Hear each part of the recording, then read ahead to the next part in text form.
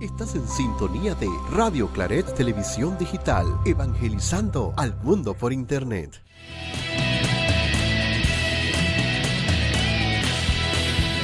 Radio Claret Televisión, evangelizando al mundo por Internet. Como la luz en la mañana, un fresco aroma amanecer. Escucha la voz de aquel que te habla. Ven, te quiero platicar. Ven, tómate un café conmigo. Vamos a platicar de lo que por amor hizo, de lo que podemos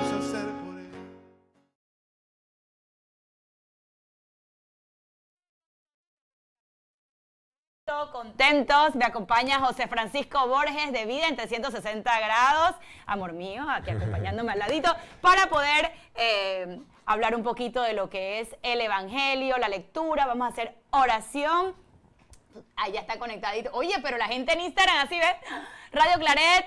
Live, lo puedes buscar en Instagram, Café con la Fe. Oye, el peinado no me ayudó mucho hoy, pero usted no se fije mucho en el peinado, usted fíjese en la palabra que vamos a, a expresar el día de hoy. Eso es lo importante, ¿verdad? Que sí. Oh, nosotros siempre le pedimos al Señor y que no estén tan pendientes de uno, estén pendientes de lo que hablemos como hermanos, que compartamos aquí, porque esa es la idea, la, la- la intención de, de llevar del Señor. Lady, Romel, y Lubia, Enrique Vega, bueno, y todos los que se van conectando por YouTube, Radio Claret. Saludos, saludos. Besitos, amiga hermosa. Más tarde va a entrenar, dice.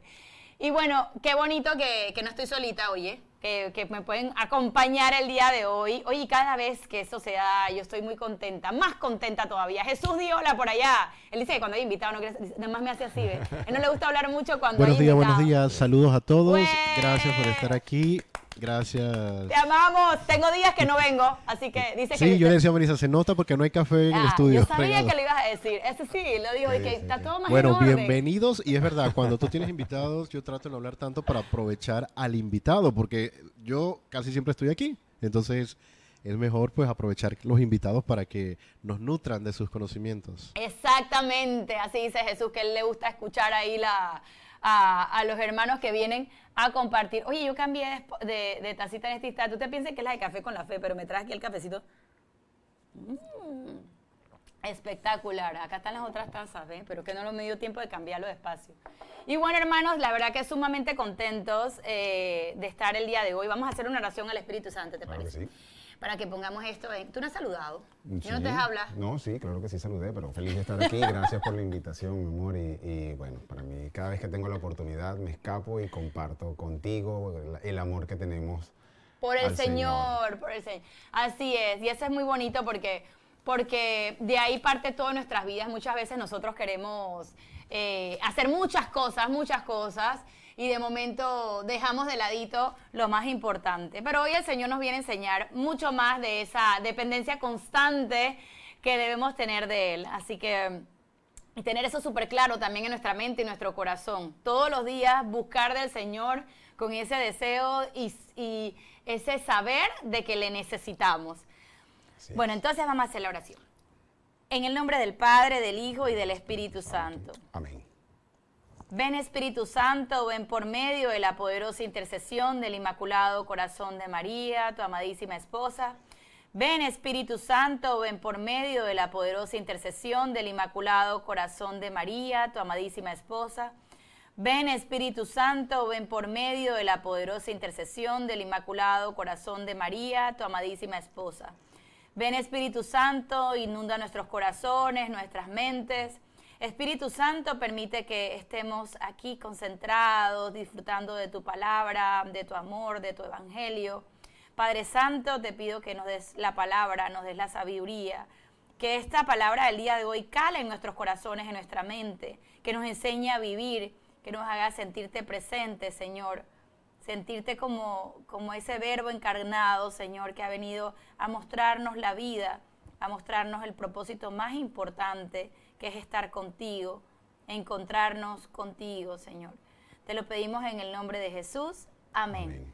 Te pido, Espíritu Santo, eh, seas tú quien inspire nuestros pensamientos, palabras y acciones, y que la lectura y los comentarios que nos inspires ayude también a los hermanos que están eh, presentes en las redes. Amén.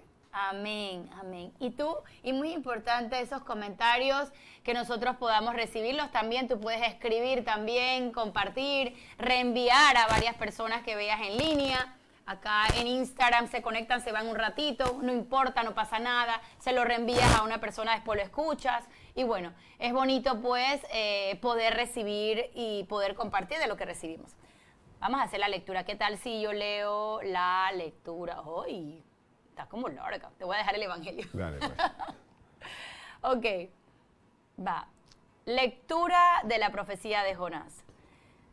En aquellos días el Señor volvió a hablar a Jonás y le dijo, levántate y vete a Nínive, la gran capital, para anunciar ahí el viaje que te voy a indicar. Se levantó Jonás y se fue a Nínive como le había mandado el Señor. Nínive era una ciudad enorme, hacía falta tres días para recorrerla. Jonás caminó por la ciudad durante un día pregonando, dentro de 40 días Nínive será destruida. Los ninivitas creyeron en Dios, ordenaron un ayuno y se vistieron de sayal, grandes y pequeños. Llegó la noticia al rey de Nínive, que se levantó del trono, se quitó el manto, se vistió de sayal, se sentó sobre ceniza y en nombre suyo y de sus ministros mandó proclamar en Nínive el siguiente decreto, que hombres y animales, vacas y ovejas, no prueben bocado, que no pasten ni beban, que todos se vistan de sayal e invoquen con fervor a Dios, y que cada uno se arrepienta de su mala vida y deje de cometer injusticias. Quizás Dios se arrepienta y nos perdone aplaque el incendio de su ira y así no moriremos. Cuando Dios vio sus obras y cómo se convertían de su mala vida, cambió de parecer y no les mandó el castigo que había determinado imponerles. Palabra de Dios, te alabamos, Señor. Vamos a hacer la lectura ahora del Evangelio.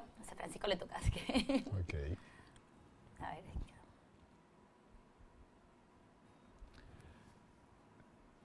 Lectura del Santo Evangelio según San Lucas. Gloria a ti, Señor. Gloria a ti, Señor. En aquel tiempo, la multitud se apiñaba alrededor de Jesús y comenzó a decirles, la gente de este tiempo es una gente perversa. Pide una señal, pero no se le dará más señal que la de Jonás. Pues así como Jonás fue una señal para los habitantes de Nínive, lo mismo será el Hijo del Hombre para la gente de este tiempo.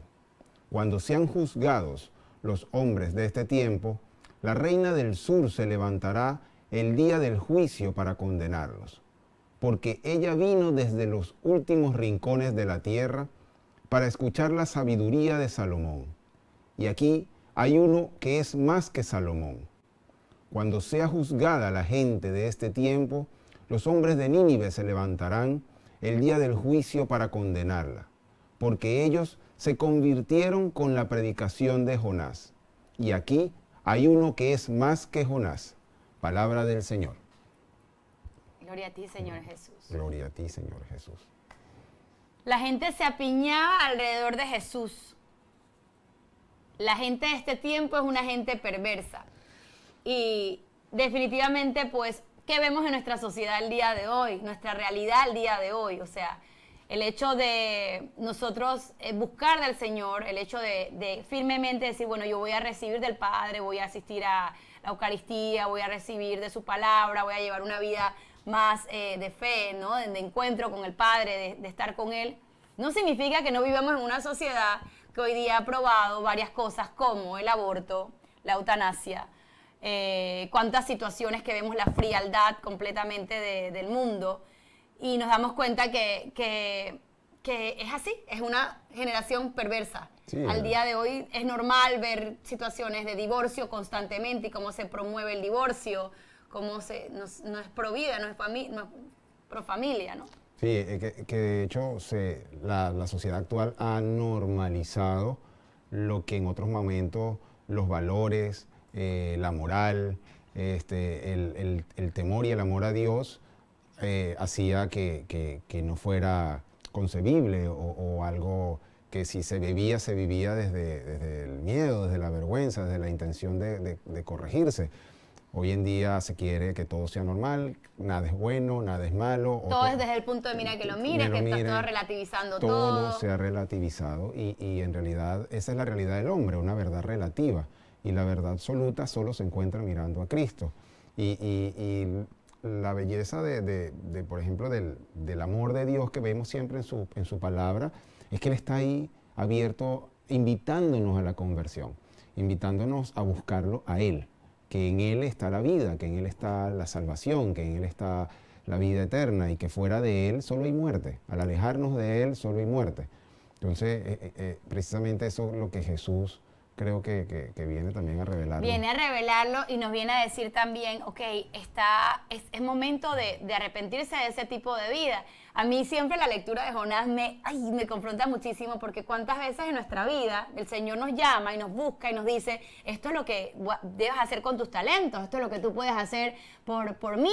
Y de una manera, no, yo no estoy. No. Ayer me decían, Vanessa, ponte ahí frente a la cámara para tal cosa. Y decía, no, no estoy. A lo mejor yo en mi mente no quería estar puesta en cámara, pero de alguna manera yo de- tenía que llevar un mensaje. El mensaje de que viésemos la película de la Virgen de Guadalupe, que está hermosísima. Eh, hay que verla, está en cines, desde ya, comercial. Tienen que verla. Sí, sí. Pero yo decía, no quería la cámara en ese momento, pues. Pero no, es más que yo, es me quito yo para hacer lo que el Señor quiere, no es lo que yo quiera.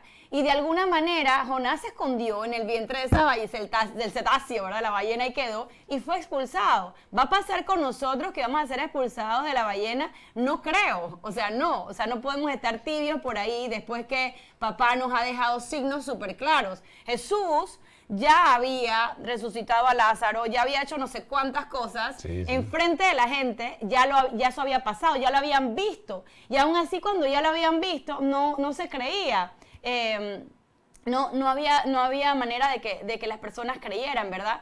Y él pone esta comparación de la reina del sur y de Jonás en su momento, que aún Nínive siendo como era, un pueblo pagano completamente, y la reina del sur siendo una mujer pagana completamente, buscaron ella de la sabiduría de Salomón y el pueblo se convirtió al Señor también en el caso de Jonás.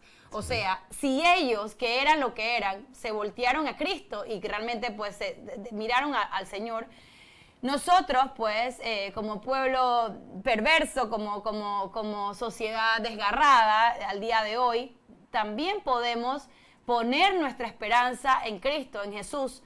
em, y no sentirnos tan bien, porque hay otro peligro ahí súper grande que expresaba hoy otro hermanito que me encanta también, que analiza en el Evangelio y me pongo yo a buscar y ver.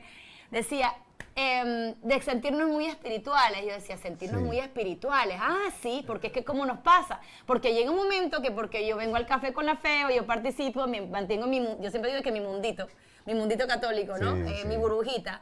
Eh, y por ahí tú el otro día decías lo de la burbujita que había dicho el padre Manuel también. Que, que realmente no es que vivimos en una burbujita, es que el mundo afuera está en una gran burbuja de mentira también, ¿no? O sea, en, en la realidad de, de- de no ver con los ojos como, como Dios nos explica en el Evangelio, nos abre los ojos, nos abre los oídos. Pero lo que quiero decir con esto es que si yo de repente tripeo, como decimos en buen panameño, empiezo a pensar de que ya yo las tengo todas ganadas, que ya yo me convertí, ahí es donde está el problema. Sí, es que se, se- se toma la, la experiencia de Dios como algo individual para yo estar bien y para yo sentir paz. Yo soy y la para, luz. Y para yo sí, pero- vivir tranquilo. Entonces, una relación bien, bien individualista de, de- de Dios cuando Dios nos invita al amor. Pero de la, de la lectura de Jonás, a mí me queda mucho porque Dios siempre todo lo hace de una manera tan perfecta que él, él no solamente le habla al que no lo conoce de conversión, sino que le habla al que lo sigue de compromiso y de, y de participación, porque Jonás, previo a lo que leemos aquí en el- de este pasaje, él, él se aleja de la invitación de Dios, siendo un seguidor de Dios, amando a Dios, el Señor lo invita a que vaya a Nínive, le anuncia, y por puro coraje con los ninivitas, porque son un pueblo enemigo de- del pueblo de Israel, entonces él, él sale en sentido contrario, el Señor vuelve a buscarlo y vuelve a buscarlo y, Y eso creo que es reflejo también de la vida del, del- del cristiano, que, De lo que el Señor muchas quiere, veces ¿no? sí, que muchas veces el cristiano en su comodidad de que está bien, de que tiene una relación íntima con Dios, que de verdad transforma la forma de vivir, pero entonces no, no, no, no quiero dar mi vida por el Señor, cuando el Señor ya dio mi vida por, ya dio su vida por mí. Entonces, este, no, Nos queremos limitar ahí un poquitito, ahí no, No, me estés que- estorbando mucho, que yo tengo mi agenda no, ahí. y que no, no quiero que me critiquen, no quiero que me vayan a, a acusar, quiero caerle bien a la gente, quiero que me amen. Entonces en, esa, en, esa, en ese miedo a, a la crítica, que es, que es el, el- el miedo actual, en aquel entonces a Jonás lo movía era el coraje contra el pueblo de, de, de Nínive, a nosotros muchas veces nos mueve el miedo a, a- a profesar el amor que le tenemos al Señor y que ese amor este, no solamente para cumplir el ir a misa, sino para vivirlo y que en ese vivirlo otras personas puedan conocer a, a- Cristo. Entonces, esa comodidad y esa muchas veces silencio, esa rebeldía contra el Señor, también el Señor nos- nos- nos- nos la expone en, en ese, en ese evangelio, en la lectura de, de- de Jonás. Y por supuesto, como el que escucha, porque es que por ahí empieza la cosa, el que abre su oído, como lo hizo Nínive, logra la conversión. Sí, que no hay tiempo. pecado grande, que no es que ya yo me perdí, que yo no tengo nada que hacer, que ya yo estoy tan mal y he hecho tanto mal que ya, ya Dios no me va a recibir. No, todo lo contrario. Todo lo contrario, el Señor siempre ha mostrado su Él misericordia para el que lo escucha y le abre su corazón. Así, ay, yo no tengo puesta la cosa. Mire, yo echándomela para atrás y le, y le echo para atrás. Ay, pobre Jesús, si me ha hablado. Lo eché para atrás. Pero sí, así mismo es. O sea, definitivamente eh, muchas veces nosotros pensamos que pues eh, las tenemos todas ganadas, ¿no? Las tenemos todas ganadas ahí y que, y que definitivamente pues eh, ya tenemos el súper proceso de, de, de conversión, de que ya eh, tenemos que tener mucho cuidado con no reconocer cuánto dependemos de Dios. Porque si bien es cierto, el Señor nos viene dando y de alguna manera ya, bueno, yo estoy, participo de tal movimiento, he tenido alguna formación cristiana, estoy en este, en, en, eh, mucho más involucrado en mi iglesia católica, conozco un poquito más, eh, no significa que yo no necesite. eh, Podemos caer en esta, esta cosa que se llama, me encanta la palabra obstinación. O sea, yo estoy obstinado a mis puntos, a mi pensar, a, a lo que yo pienso, a mi mundito y no recibo más nada.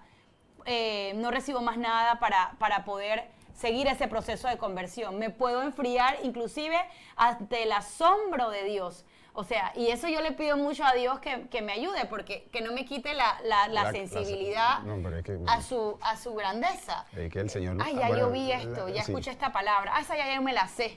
Pero, ¿qué vas a hacer conmigo con esta palabra hoy? Porque es diferente. Exactamente. ¿no? Es que la experiencia de la palabra de Dios, porque es palabra viva, es que tú puedes haber escuchado una- un, un pasaje del Evangelio hoy y lo vuelves a escuchar en otro momento y te dice algo diferente porque es, es- es- es que es eso, es, es la, la- la efectividad de la palabra del Señor que, que- que aunque sean las mismas letras, viene a darte un mensaje diferente eh, según En el el contexto, en el momento. que estás viviendo.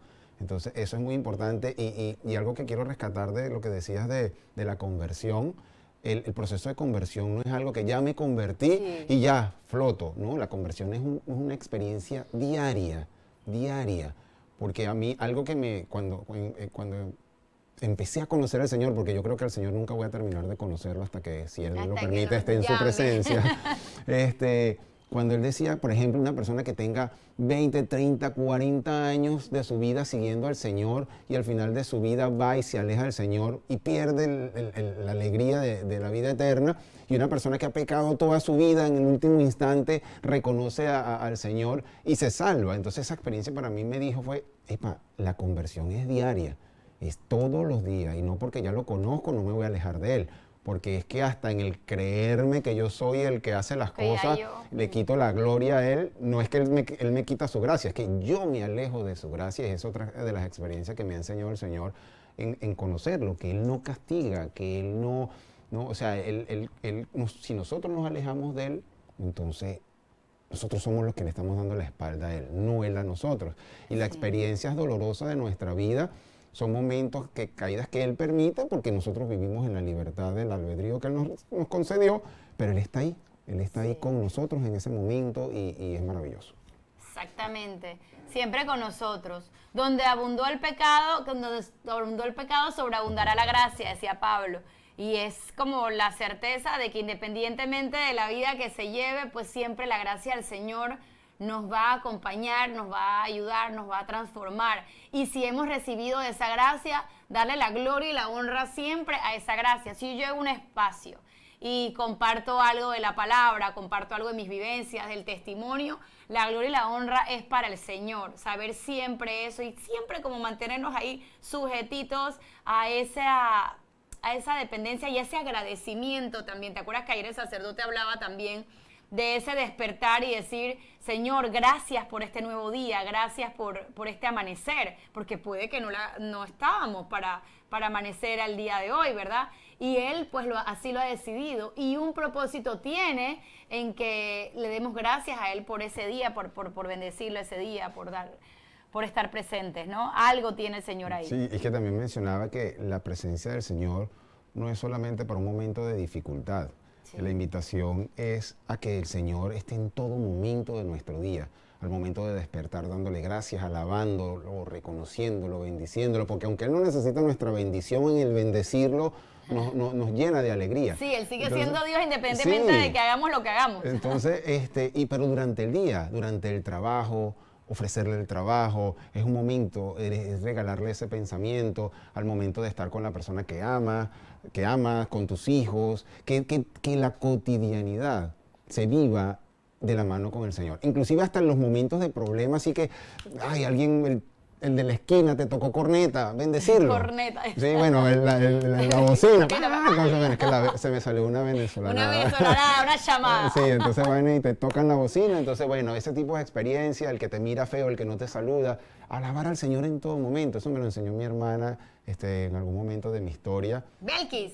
no, Belkis, Belkis, bueno, Belkis siempre tiene una palabra hermosa de amor. Dios la bendiga, oremos por ella que le están haciendo un procedimiento el día de hoy. Procedimiento médico. Ella es una persona maravillosa porque ella camina en el Señor y, y siempre tiene una palabra de reflexión hermosa que no, que me aleja del juicio, o aleja del juicio. No tengo una experiencia que no, porque tú te lo buscaste, no, nada de eso, sino que siempre, siempre es de cara al amor del Señor en cualquier realidad y por eso es una mujer hermosa y bendecida por el Señor.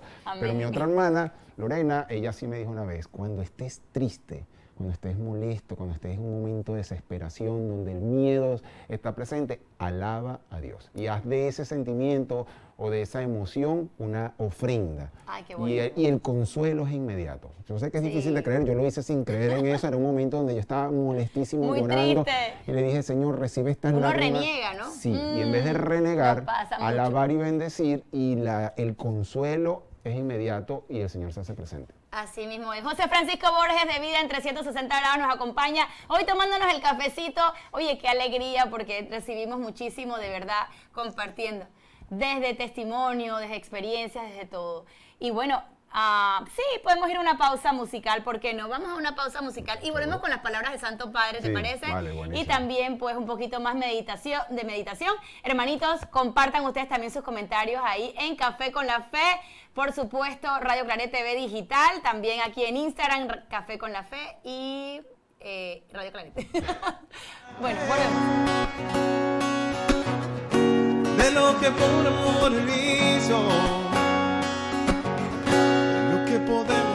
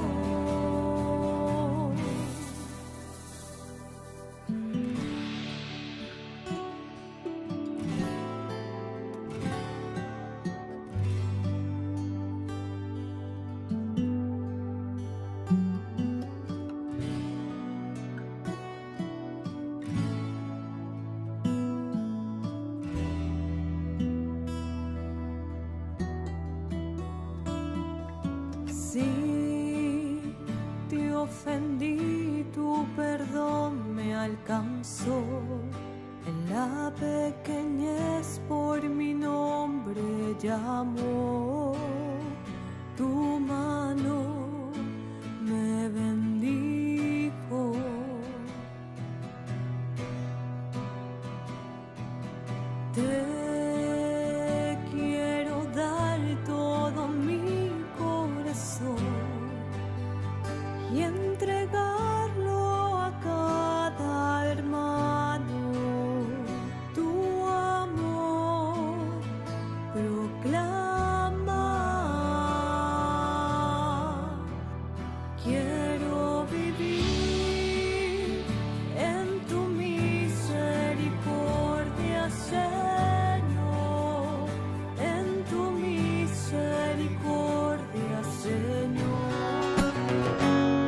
A platicar eh, de lo que por amor hizo y lo que podemos hacer. Bueno, buenos días de nuevo. Estamos de vuelta. Estamos escuchando un poquito de musiquita linda. Estábamos comentando también de eh, lo bonito que está la película de la Virgen de Guadalupe, que la tienen que ver en todos los cines a partir del jueves, el jueves 22, o jueves 20 no, ¿qué es hoy?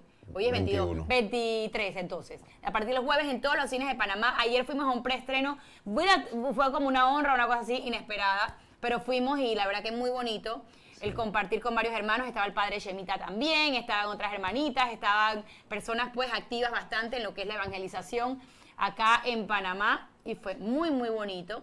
Sí, fue una experiencia, sin dar detalles de la película, Sí. hay testimonio, hay historia, Hay hay, todo. hay experiencia de fe y como comentábamos ahorita fuera del... del, del- Ay, no me puse la morenita hoy, sí, no, sí, aquí tengo la morenita, aquí la Mientras morenita. estaba el, el- el espacio musical, eh, hablábamos pues que la Virgen siempre lle- lleva la- a, a- a sus hijos a Jesús, pues. Y, y- y- y en la película se muestra bien claro eso, que es una experiencia de fe, que cómo llegamos a Jesús a través de su madre, que es una intercesora Su- y que el Señor y que el Señor atiende pues su, también su, su, su solicitudes, Su como buen hijo que es.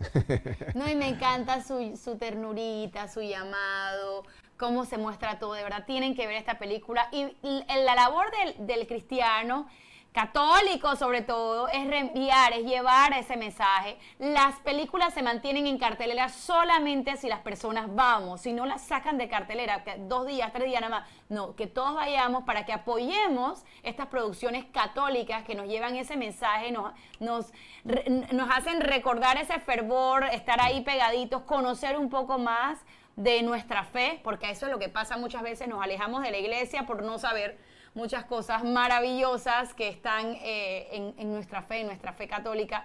Y de verdad, la madrecita, pues linda, hermosa, preciosa, la morenita. Y bueno, nada más les digo que vayan a verla. Sí, sí, y, y lo que mencionabas del- de la importancia del- de los, los primeros tres días, nos aclararon ayer, Sí. que los primeros tres días del Son estreno de la película son claves porque eso garantiza la permanencia. Si en los primeros tres días no hay asistencia en la película, muere a la semana. Entonces, por eso es tan importante que aquellas personas que tienen la intención de ir a verla, que va a ser una experiencia muy bonita, este, yo lloré como niño, pero, este, Es que mucho testimonio y cosas Sí, muy- este, vayan pronto y no esperen porque pues tendemos a decir, bueno, voy a esperar, voy a ir la siguiente semana, entonces no, para Sí, apoyar, con la familia. para apoyar la Yo voy de nuevo. hay que ir. que ir con mi Ah, mamá, ¿verdad, mamita? Sí, yo quiero Cinemark, llevar, yo quiero a Miranda también. También, y las niñas también que quiero la llevarla. vean, porque no es una película que no tiene edad, es una película que cualquier persona, creyente o no creyente, puede, puede ir a verla porque es, es testimonial, es bonita, es histórica y aclara muchas cosas también de la historia, de la parte de colonización y realidades que, por ejemplo, yo no sabía como, como esta realidad. Bueno, no voy a decir nada. No cuentes nada, la fe, la fe, cómo, cómo creció todo, ¿no? Sí, sí, sí. De verdad que muy, muy hermoso, pero vayan, vayan a verla. Y bueno, eh, vamos a leer un poquito de la reflexión del Santo Padre para que nos ayude un poquito más con lo de la lectura y el Evangelio. Siempre nos da luces, ¿verdad? Sí. Y, eh, y todos compartir. A ver, dice aquí, los doctores de la ley no entendían los signos de los tiempos invocando un signo extraordinario. Y propuso algunas respuestas. La primera es que estaban cerrados, estaban cerrados en su sistema. Tenían perfectamente acomodada la ley, una obra maestra. Estaba todo ordenado. Habían olvidado que Dios es el Dios de las sorpresas. Dios es siempre nuevo. Y ellos no entendían y se, y se cerraban en ese sistema hecho con tanta buena voluntad. Y pedían a Jesús que les diera una señal continuando sin entender los numerosos signos que hacía Jesús y permaneciendo en una actitud de total cerrazón. La segunda, habían olvidado que era un pueblo en camino. Y cuando uno está en camino, se encuentra siempre cosas nuevas, cosas que no conoce. De aquí la recomendación final de reflexionar sobre este tema, de interrogarse sobre los dos aspectos preguntándose, ¿Estoy apegado a mis cosas, a mis ideas, cerrado? ¿O estoy abierto al Dios de las sorpresas? Y también, ¿soy una persona inactiva o una persona que camina? Y en definitiva, concluyó, creo en Jesucristo y en lo que hizo, es decir, que murió, resucitó. Creo, creo que el camino sigue adelante hacia la madurez, hacia la manifestación de la gloria del Señor. Soy capaz de entender los signos de los tiempos y ser fiel a la voz del Señor que se manifiesta en ellos. Oh, bueno, esto fue la homilía de Santa Marta el 13 de octubre del 2014. Entonces a veces andamos así como que, uh, la land y no queremos, no estamos viendo los signos del Señor, Sí. todo lo que Él hace por nosotros a hoy, no en- solamente antes, a hoy, los milagros de hoy. Sí, y, y- y las manifestaciones de hoy, pero algo que me, me encanta es eso de que Dios es un Dios del camino. A- a la- antes había escuchado ese comentario con Fray Nelson, que yo sé Ajá. que a ti te gusta mucho, Ahí lo amo, bendiciones Este- a Fray Nelson. Oremos mucho por nuestros hermanos sacerdotes y por las vocaciones sacerdotales, por, por las favor. vocaciones sacerdotales. Sí. Sí, es, es muy importante. Sí. Entonces, Dios es un Dios del camino que se va manifestando, que va apareciendo en la historia y siempre sorprende. Que tú me comentabas, comentabas ahorita que, que no perder la capacidad de sorprenderse ante, la, ante Dios. Es que, es que no es posible no dejar de sorprenderse. Yo, yo me sorprendo todos los días. Eh, eh, es, una- es- es hermoso, es, es maravilloso como el Señor siempre, cada día, y, no, y bueno, lo hemos conversado, ¿no? To- todos los días nos regala algo que nos sorprende, que nos maravilla, que nos une más, este, experiencias de, de- de amor del Señor. Y por eso es, es un Dios del camino que se va apareciendo. Muchas veces no es- yo que soy una persona estructurada, rígida, él, yo creo Que- que... oh, sí. No, pero es que yo creo que con lo único que soy flexible en muchas cosas en mi vida es con esa experiencia de las sorpresas que el Señor siempre me, me está regalando. Entonces, este...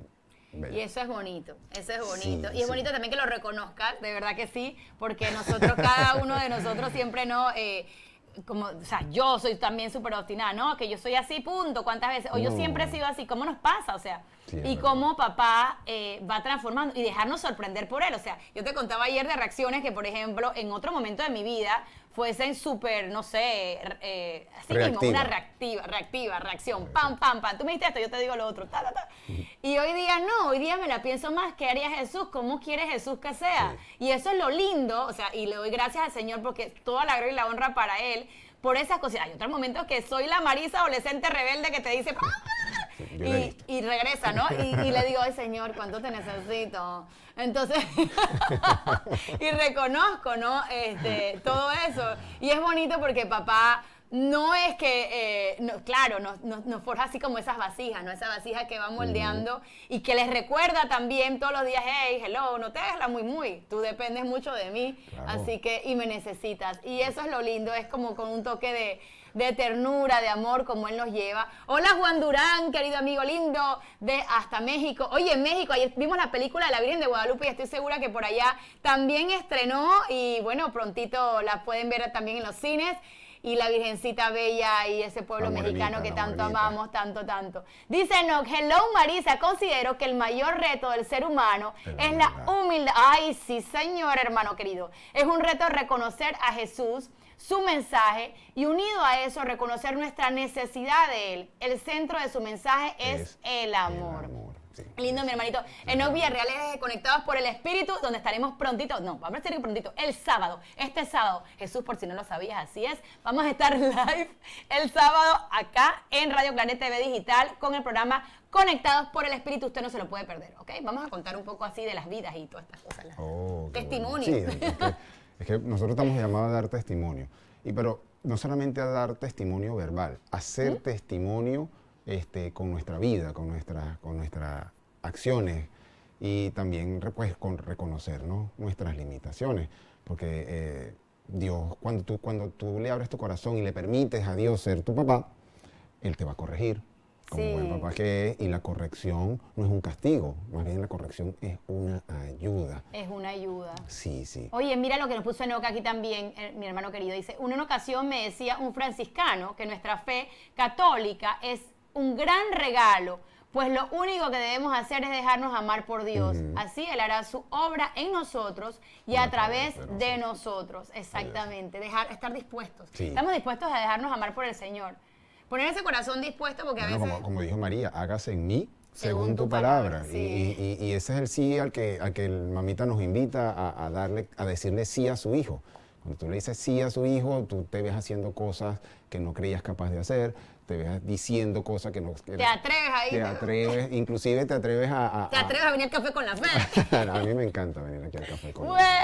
Y ojalá los hermanos que nos están viendo también se animen, Oye, ¿verdad? que sí, sí, a claro compartir. Podemos hacer una mesa grande Lady, aquí. Lady. Una, una, una sala de juntas, conferencia. Yo le dije, pongo un sillón aquí a una familia. Ayer le dije, a Marco Urbina, mira que te estoy así expoliando. Le dije, ven acá con toda la familia.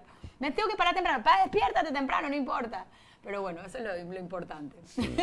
¿Quién te dice Lady? ¿Qué dices? No, que le estoy diciendo a Lady que venga. Ah, sí, Lady, que te estamos esperando, ¿eh? Lady. Dice aquí Milagros Perdomo, saludos de parte de Belkis Bor. ¡Ay, qué Ay, linda! amo. Besito, qué linda. Linda. No sé si viste el comentario, pero dije lo mucho que te amo. Lo mucho que te ama. Dice, y una cosa bien bonita. Dice, buenos días, amiguitos, linda. Sí, Lady también, qué bendición, pues. Es una comunidad hermosa. De verdad, hermanos, les pido muchísimo sus oraciones, porque sin sus oraciones, pues, de intercesión, pues el Señor no permite que lleguemos a más.